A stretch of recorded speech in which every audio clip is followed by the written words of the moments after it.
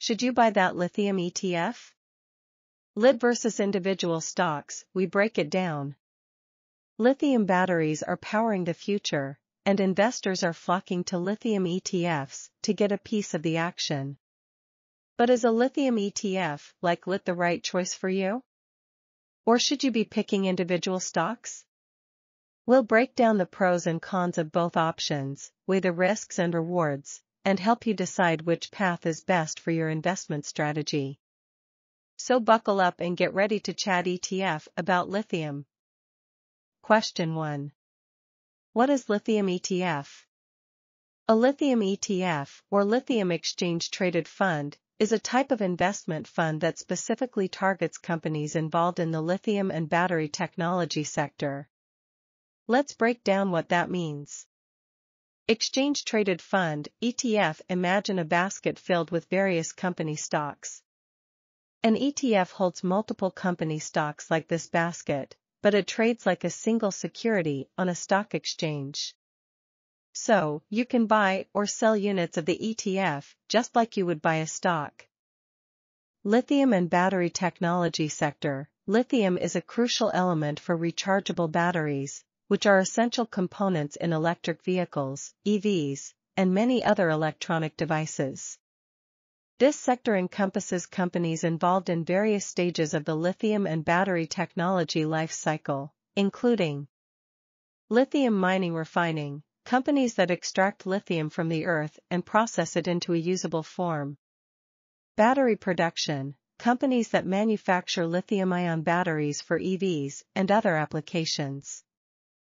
Electric vehicle manufacturers, while not the sole focus of all lithium ETFs, some may include companies that design and build electric vehicles which rely heavily on lithium batteries. Benefits of lithium ETFs Diversification By investing in a lithium ETF, you're not putting all your eggs in one basket. You gain exposure to a variety of companies across the lithium and battery tech sector, which can help spread risk. Growth potential the demand for lithium and battery technology is expected to grow significantly in the coming years, driven by the rise of EVs and the increasing need for energy storage solutions. This potential growth can benefit the companies within the ETF and potentially increase its value. Question 2. What is the lithium ETF's primary investment objective? The primary investment objective of a lithium ETF like the popular Global X Lithium Battery Tech ETF, LIT, is to track the price and yield performance of an underlying index focused on the lithium and battery technology sector. Here's a breakdown. Track an index. The ETF doesn't pick individual stocks itself. Instead, it follows a predetermined index, like the Solactive Global Lithium Index in the case of LIT, this index includes companies across various segments of the lithium and battery technology sector. Price and yield performance. The ETF aims to mirror the performance of this index, meaning its price fluctuations and dividend payouts, if any, will generally reflect the combined performance of the companies within the index.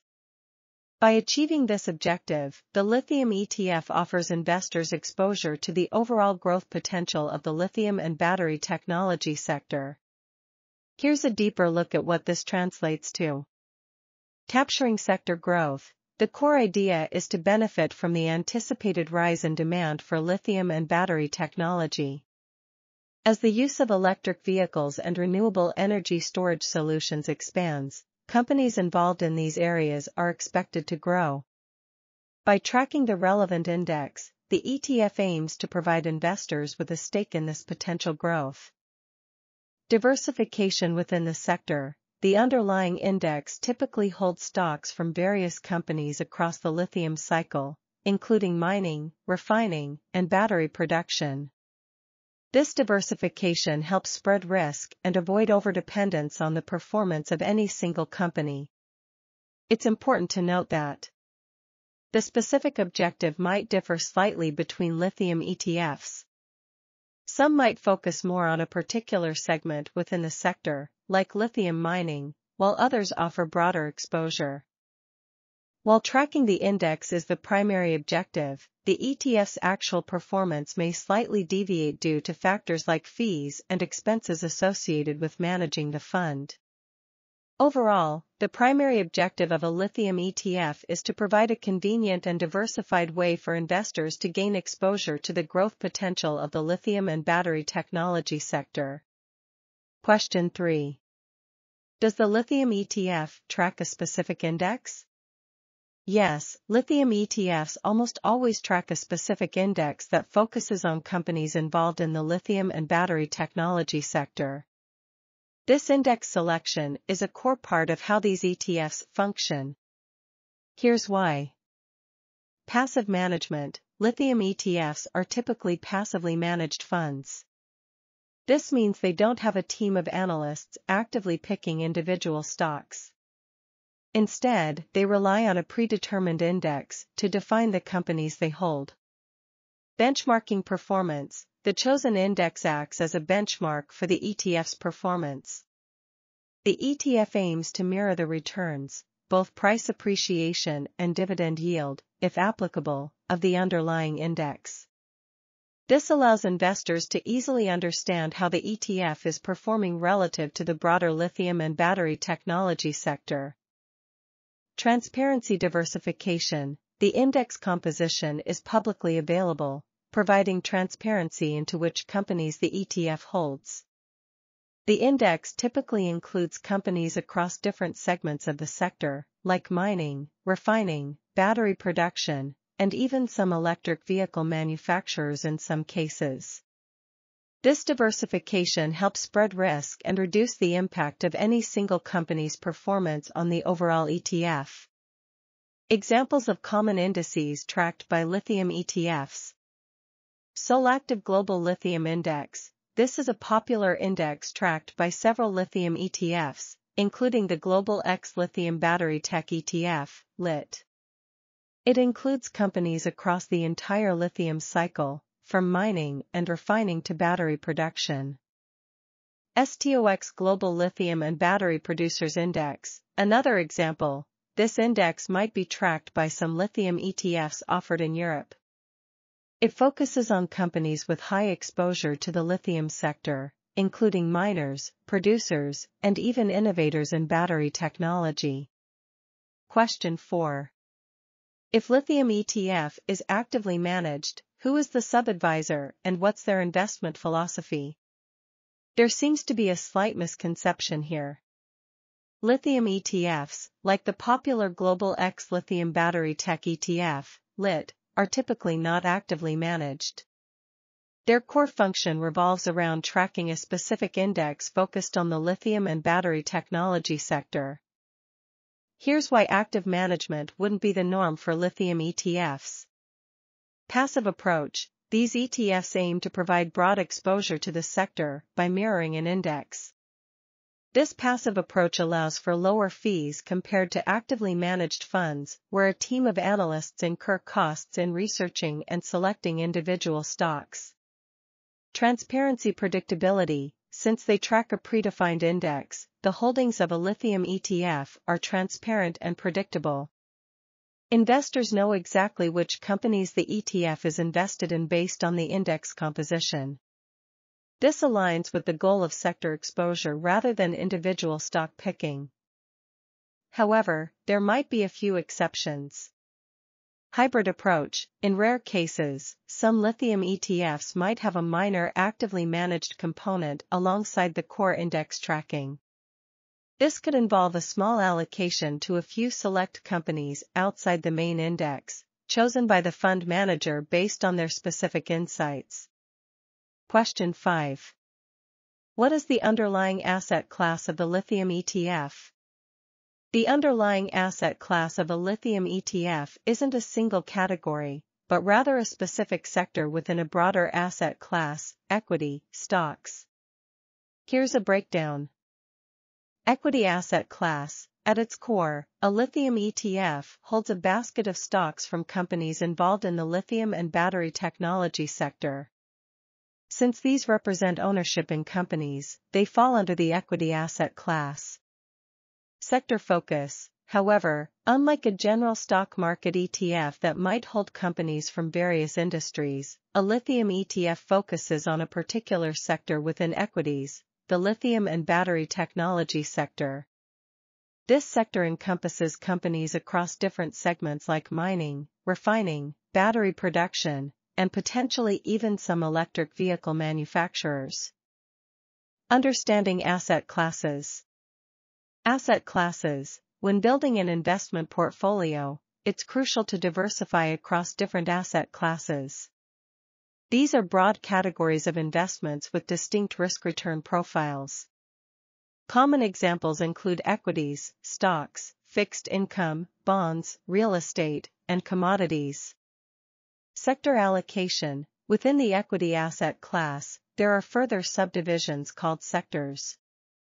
Each sector groups companies that share similar characteristics and business activities. By including a lithium ETF, you're increasing your exposure to the lithium and battery technology sector within your overall equity allocation.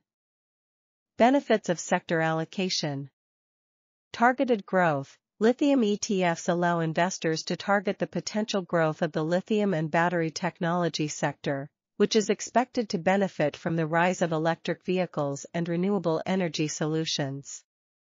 Portfolio diversification While lithium ETFs focus on a specific sector, they still offer diversification within that sector by holding multiple companies. This helps spread risk compared to investing in individual lithium or battery technology companies.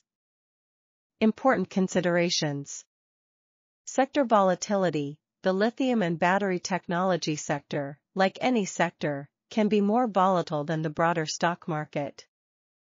This means the price of a lithium ETF might fluctuate more significantly. Concentration risk Some lithium ETFs might be more concentrated on certain areas within the sector, like lithium mining, while others offer broader exposure. Consider your risk tolerance when choosing an ETF. Question 6.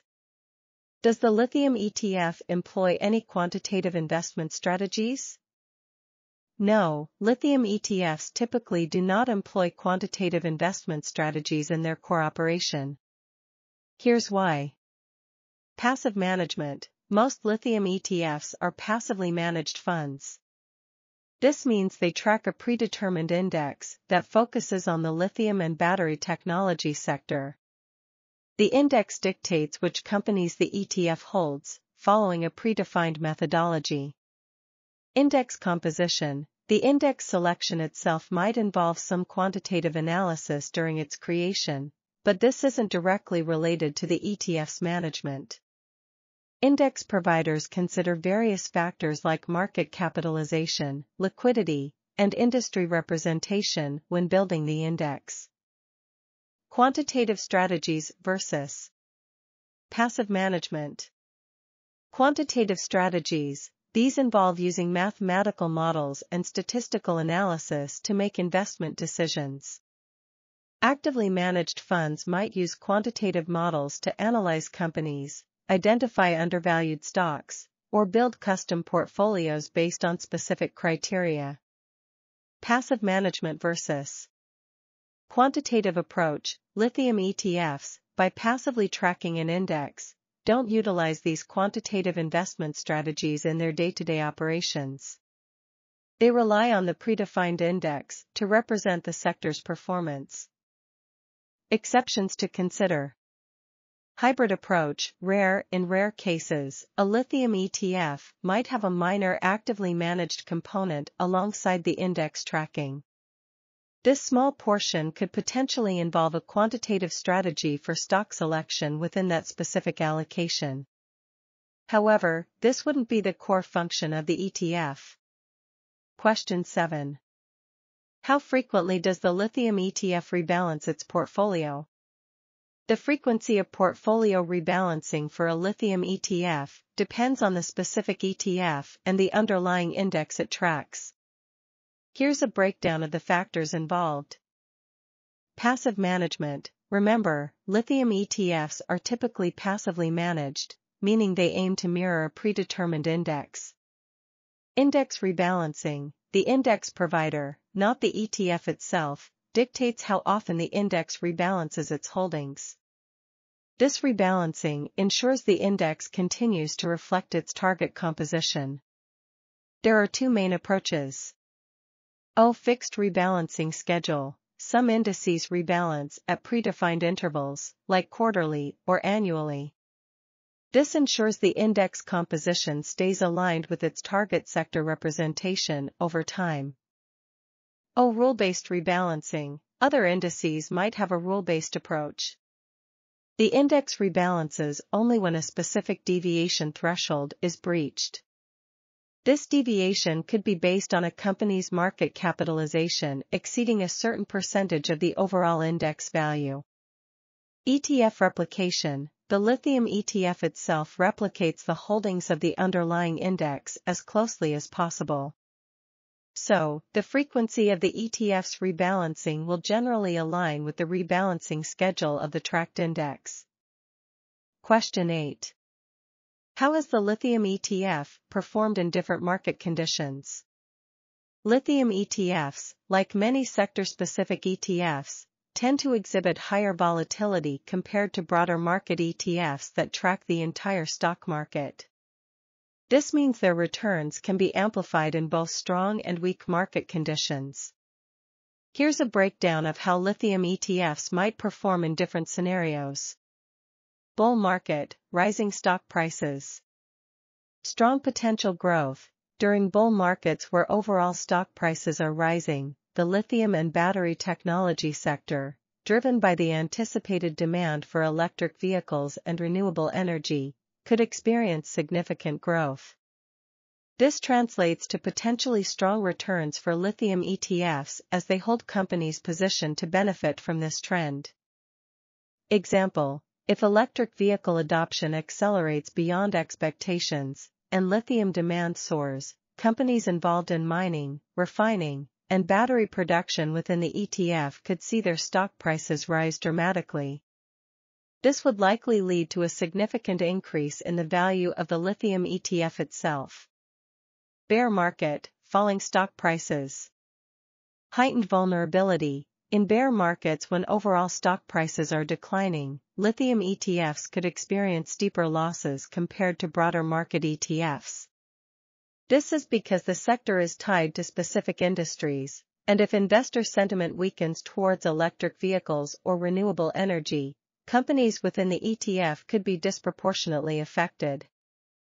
Example if concerns arise about the viability of electric vehicles or there are significant delays in battery technology advancements, companies within the lithium ETF could see their stock prices fall more sharply than the broader market. This would likely lead to a decrease in the value of the ETF. Market volatility. Amplified swings, lithium ETFs are generally more volatile than broader market ETFs. This means their prices can fluctuate more significantly, both upwards and downwards, even during periods when the overall market is relatively flat. Example, news or events specifically impacting the lithium and battery technology sector, such as a breakthrough in battery technology or a new lithium discovery, could cause the price of a lithium ETF to swing more dramatically than the broader market in response. Here are some additional factors to consider. Underlying index composition, the specific companies held by a lithium ETF and their weightings within the index can influence its performance. An ETF with a heavier focus on lithium mining companies might perform differently than one that emphasizes battery production companies during various market conditions. Global economic factors, lithium demand and the performance of the lithium and battery technology sector can be influenced by broader economic trends. For instance, a strong global economy with rising consumer spending could benefit electric vehicle sales and positively impact lithium ETFs.